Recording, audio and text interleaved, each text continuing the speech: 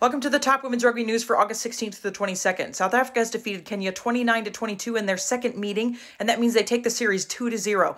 Scion has won the Emil Signes Cup at the USA Rugby National Club Sevens Championship, and England, USA, France, Canada, and New Zealand have announced fall tests.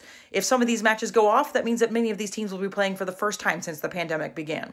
And more 15's news the Dr. Farah Palmer Cup has cancelled matches due to the worsening COVID conditions in New Zealand, and Ireland's uh, Vodafone Interprovincial Championships are set to begin August 28th, with all matches being televised locally.